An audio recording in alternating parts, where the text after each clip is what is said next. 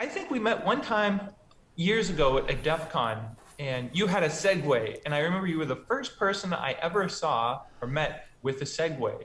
So it immediately made me think, aha, that person's connected. Well, a Segway is technology, said, and it was such a huge part of my life. Um, you know, yeah. we'd carry them in our cars, so wherever we went, like Las Vegas, DEF CON, um, have the Segways ride around. It was such a pleasant, did an incredibly great thing for those of us who rode them.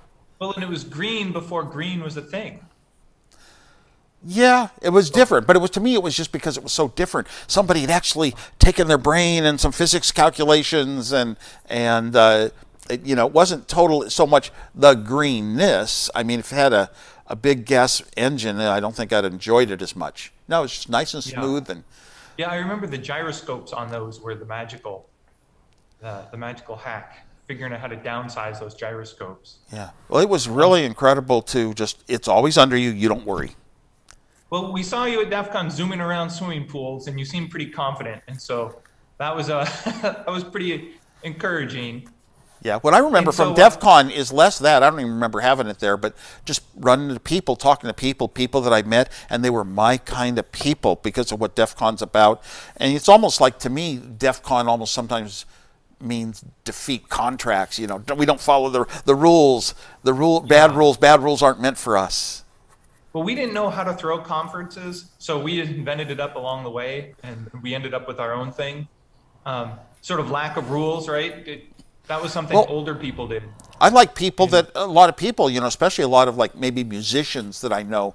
I love the people that just sort of went around and the rules didn't matter that much to them. They just took risky lives doing the sorts of things that you make movies about.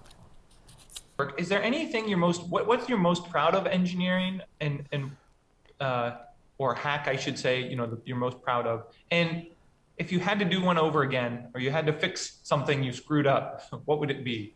It's kind of like Bob Dylan that I mentioned. I mean, I had some magic pouring out of my brain for about 10 years of my life. And I go back and look, where did I, why would I ever think of doing these things that were so different and so advanced? And um, so there's way too many stories, but one of them is how um, I was designing Breakout for Atari and four days and nights, no sleep, and your head wanders this when you're Atari, not sleeping. Atari, the game company, Atari Computer. Atari, the yeah. Atari computers came from Atari. They were starting the arcade game industry. It did not exist. There were no arcade games until Atari, oh. with Pong and then a few others. And I was designing Breakout right down there in four days and nights. Nobody could design a game in that short a time because it's a thousand wires on a hundred chips, hooking things up to get signals going just right. Uh, I spent four days up in a row, and we actually completed it. Steve Jobs and I. It was all my design. But while I was there, my head wanders when you're sleeping. Going to sleep is some of the best yeah. time to get creative thoughts, or waking up and they're in your head.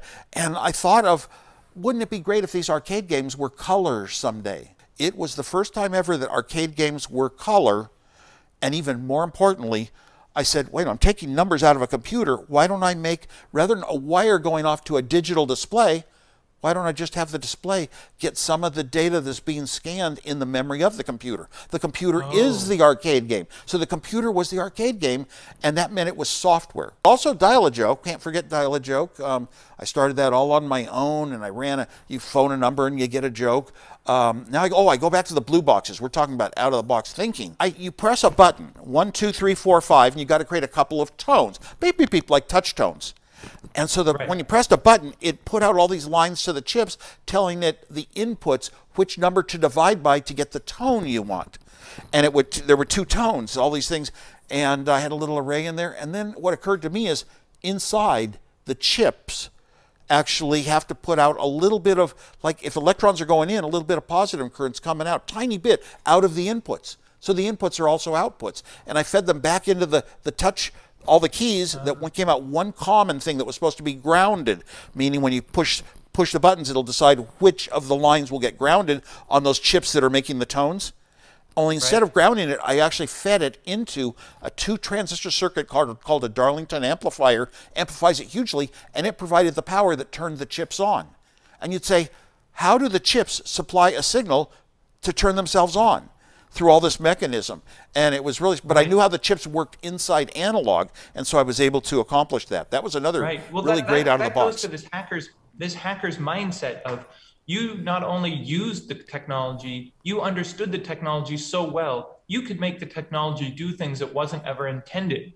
and that's what's really inspiring for, for me and for hackers. It's it's sort of like the manufacturer says, no, you can't do color, and you say, no, wait a minute, I bet I can do color. That's right. And the rules the rules don't apply if you can do it better. Right.